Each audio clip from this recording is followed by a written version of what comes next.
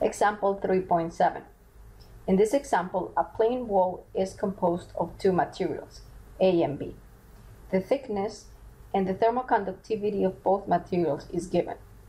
Material A has a uniform heat generation, while material B has no heat generation. The inner surface of material A is well insulated, while the outer surface of material B is cooled by water. The goal of the problem is to sketch the temperature distribution that exists on the composite under the given conditions. And then we need to determine the temperature of the insulated surface, T0, and the temperature of the cold surface, T2. This is a one-dimensional aesthetic case in which we neglect the resistance between the contact surfaces between A and B. It will maintain constant properties.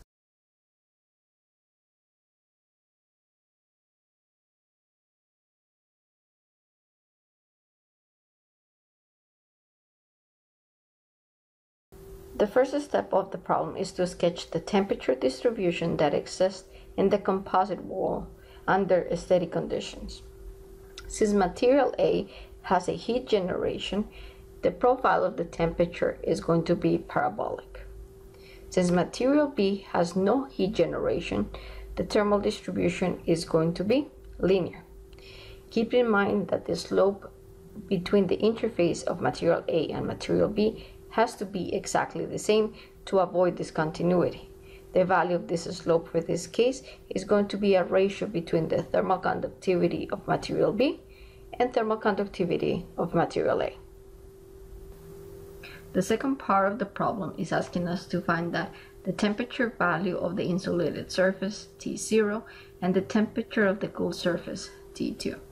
We start by setting up thermal resistances between T1 and T infinity. Notice that we do not set up between T0 and T1 because the temperature distribution between those two points is not linear due to the fact that we have heat generation. The first step is to find out what is the flux going into the circuit. In order to do that, we find out what is the value of Q double prime, which is equal to the heat generated in the material A times the total length that it went across.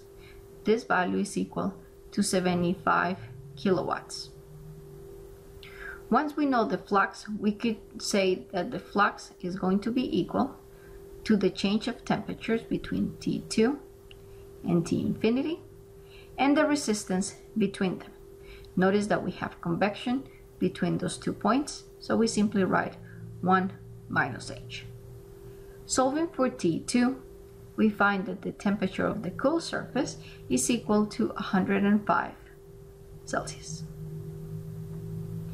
The next step is to calculate the value of T0.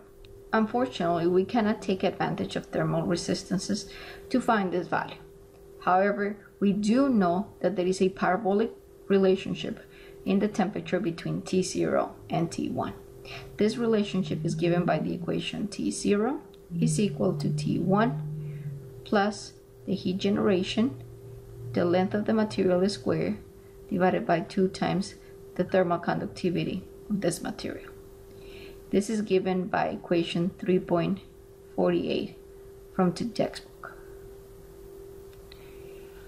Notice that, however, to find the value of T0, we need to know first the value of T1. The value of T1 can be obtained by using the thermal resistances. So we could say that the value of the flux is equal to the difference between temperatures between T1 and T infinity and the addition of the resistances. So we could say LB KB plus 1 over H. Notice that this that you could do this relationship between T1 and T2 since we already know 2 or between T1 and T infinity. By solving for T1, we could find that, this value is equal to 115 Celsius.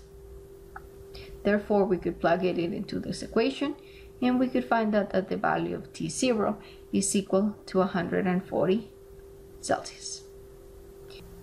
Notice that the temperatures between the surfaces at T0, T1, and T2 change depending on the behavior of the problem. The highest value of the temperature is at the insulated surface, T0, at 140. The lowest value is at T2, which is the one being cooled down by the fluid. Please go back and make sure to do the calculations and verify all these values.